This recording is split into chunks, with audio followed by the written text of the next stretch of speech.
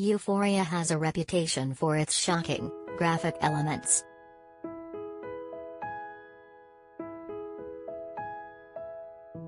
From drugs and violence to full frontal nudity and sex scenes, the HBO series is so chock full of raw, unsettling scenes that viewers lament it can, at times, be hard to watch, yet they keep coming back every week.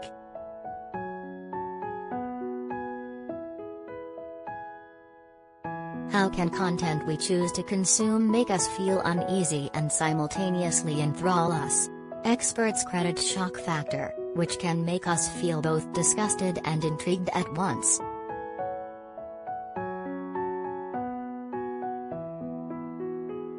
Robert Thompson, director of Syracuse University's Bleier Center for Television and Popular Culture, says Hollywood has a history of trying to appeal to audiences by shocking them.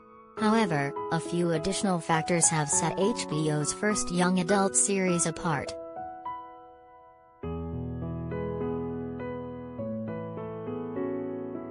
Off-screen controversies regarding the series' nudity have contributed to some fans' strong feelings about the show, while others squirm at the idea that this is a series about teens.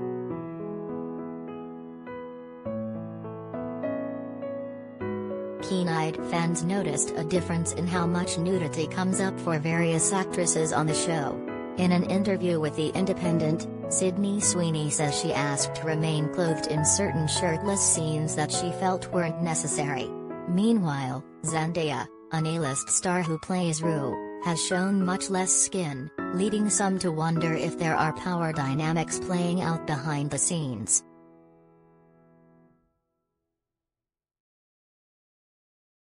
USA Today has reached out to HBO for comment.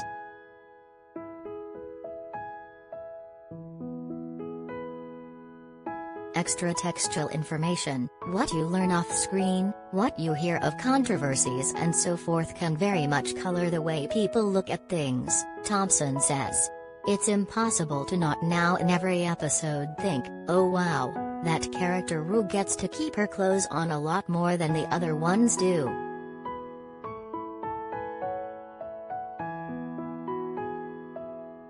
Euphoria depicts high schoolers having sex, overdosing, driving drunk.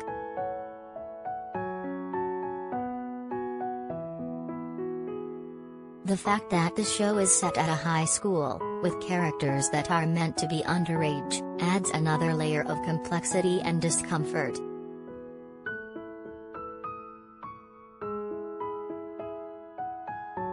Intrigue, especially in parents who have a generational separation between themselves and the characters, can motivate viewership, explains Glenn Sparks, a professor in the Brian Lamb School of Communication at Purdue University.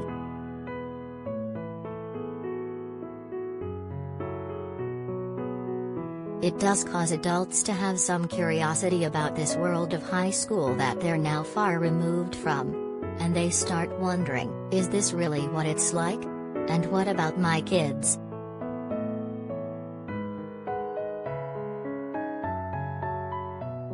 For some parents, that curiosity turns to worry.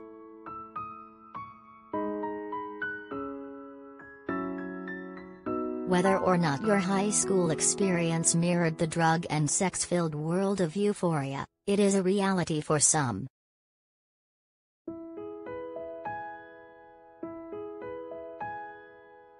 According to the National Center for Drug Abuse Statistics, 62% of teenagers in 12th grade have abused alcohol and 50% of teenagers have misused a drug at least once.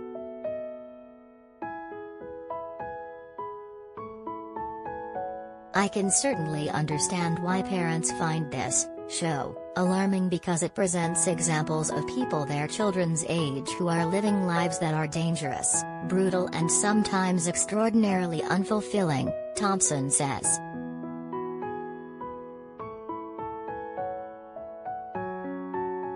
Last month, as season 2 debuted, the Drug Abuse Resistance Education Program, DARE, released a statement saying the show chooses to misguidedly glorify and erroneously depict high school student drug use, addiction, anonymous sex, violence and other destructive behaviors as common and widespread in today's world.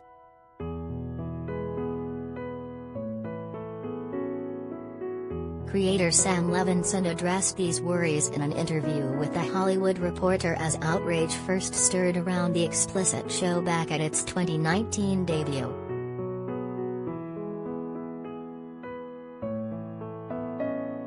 There are going to be parents who are going to be totally, expletive, freaked out, he told the outlet.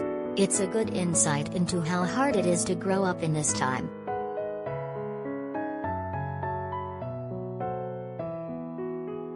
Meanwhile, some adult viewers find themselves most uncomfortable by the idea that kids and teens may be watching the series too.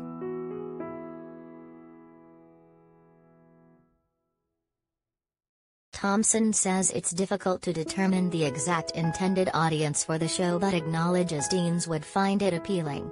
Sparks said the compelling characters are likely to hook viewers, regardless of age.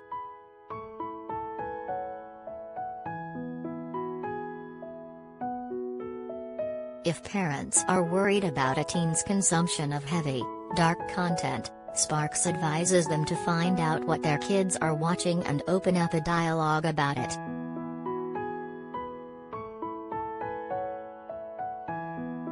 Too often parents are just oblivious, he says. Once you know what they're watching, use that exposure as an opportunity to talk through some of the issues that are depicted.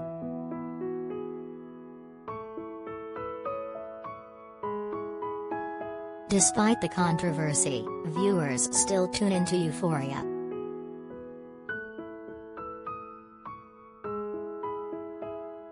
Despite all this discomfort, plenty of fans still tune in every Sunday.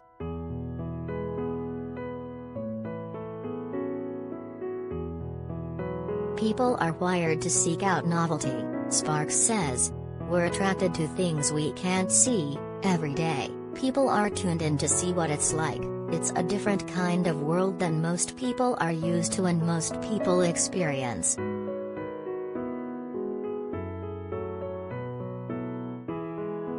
People are also attracted to Euphoria because they're comparing their own experiences to what they're seeing in this program, Sparks says.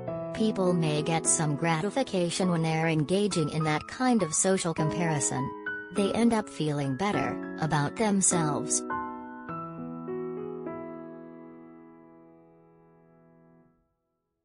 What's changed for women who pose nude?